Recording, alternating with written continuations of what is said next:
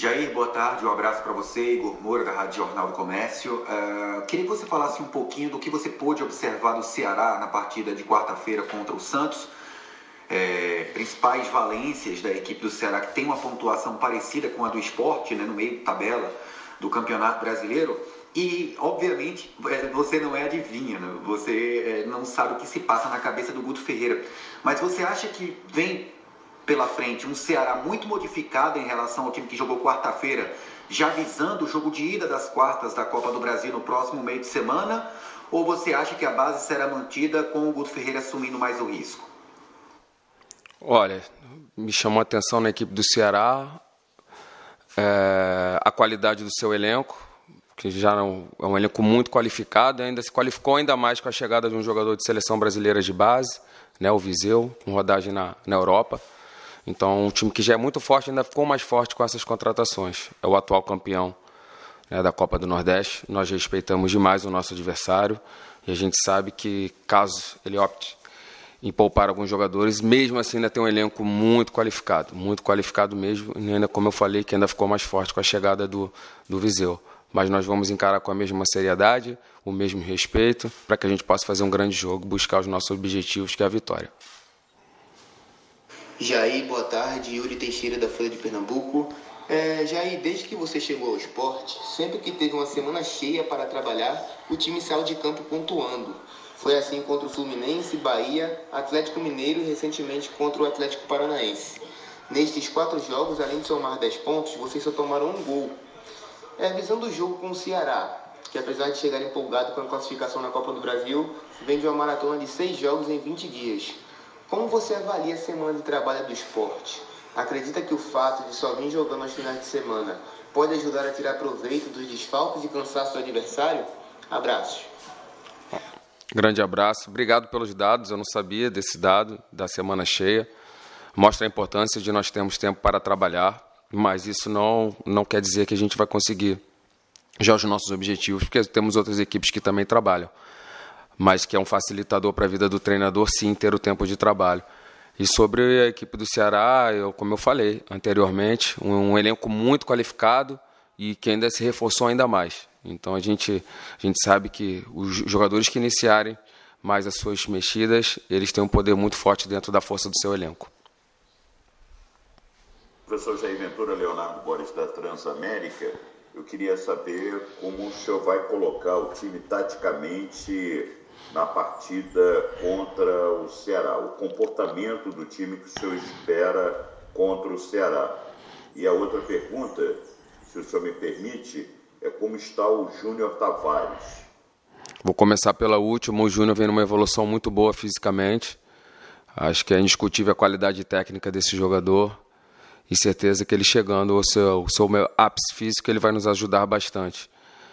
E sobre como a gente vai iniciar, eu, eu venho batendo nessa tecla desde que eu cheguei, né? Vou para o 15 jogo e você olha um esporte sempre muito mutável. As ideias estão definidas dentro do, do time, mas com um sistema diferente. A gente pode mudar a nossa maneira de jogar, como nós já fizemos diversas maneiras, mas o que importa é que a gente vai ser competitivo, o que importa é que eh, o treinador tenta sempre extrair o máximo do seu elenco e aqueles que estiverem no seu melhor momento a gente escala para que a gente possa fazer ter um grande desempenho e aliar com, com um grande resultado. Jair, boa tarde. Daniel Gomes, da TV Globo. Jair, eu queria saber se você acha que os treinadores e os auxiliares estão recebendo mais cartões amarelos nesse ano do que no ano passado. E já que não tem público no estádio, eu queria saber se você se policia mais para falar, para reclamar uma coisa ou outra, já que agora os árbitros eles conseguem ouvir mais o treinador fala, né? Olha, eu sou um cara extremamente competitivo, vocês já devem ter me visto na beira do campo. Jogo junto, corro, faço de tudo ali, mas lógico que nós somos seres humanos, tem alguns momentos que a gente acaba entrando no calor do jogo, mesmo sem torcida. A gente sabe a importância do jogo pra gente e a gente acaba falando um pouco mais, né? Alguns treinadores mais, outros menos. Eu tenho 14 jogos, tenho um cartão amarelo, acho que é um número baixo, mas lógico a gente tem que se controlar sim e, ter respeito aos profissionais.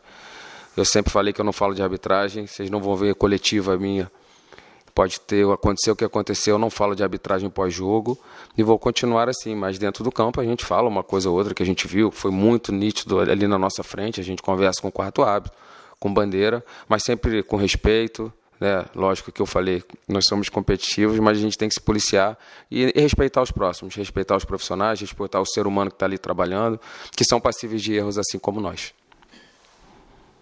Jair Ventura, Wellington Araújo da Rádio Clube de Pernambuco. Eu queria lhe perguntar hoje é uma situação além do esporte, uma situação do futebol brasileiro.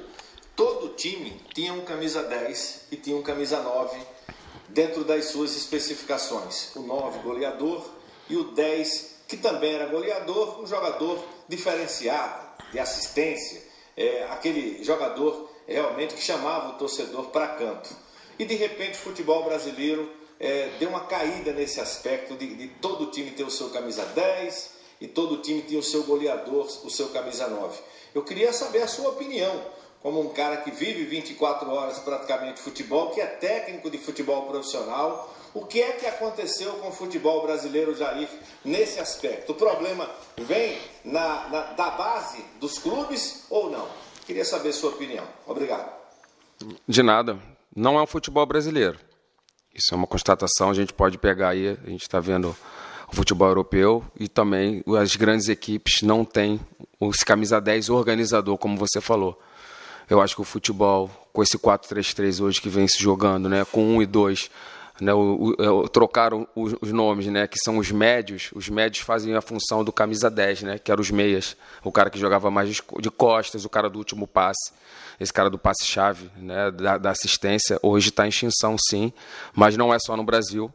Se você pegar Bahia, se você pegar Real Madrid, se você pegar as grandes equipes, o próprio Barcelona, o Messi é um meio atacante, não é esse cara de, de organização, o cara de correr, de drible, velocidade com a bola. Né? Então, assim, é uma situação que é mundial. E o camisa 9, esse cara, a gente vê hoje o Pedro, né, que é um, que é um exímio finalizador, é, é, e, são poucos, são poucos. Eu vejo por, por, por duas é, situações. Primeiro, por safra, não é toda hora que aparecem grandes jogadores, né? A gente vai falar de Ronaldo, Romário, jogadores que, que fizeram história, mas não são sempre que aparecem grandes jogadores. E também pela uma questão do, do jogo, o jogo vem mudando. Então o jogo está muito físico, o jogo está tá muito compacto, tem poucos espaços. Então esse, esse camisa 10 acaba sofrendo um pouco mais ali para jogar. Mas lógico que, que o camisa 10 faz falta ao futebol. Sou um cara que, que admiro demais a qualidade desse, desse 10, esse cara pifador que a gente fala na, na linguagem futebolística, fazem falta, mas eu vejo por essas situações. Uma situação de safra e mais uma situação também do, do jogo estar tá mudando um pouco por conta da, da velocidade da chegada desses médios, ocupando um pouco o lugar desse camisa 10.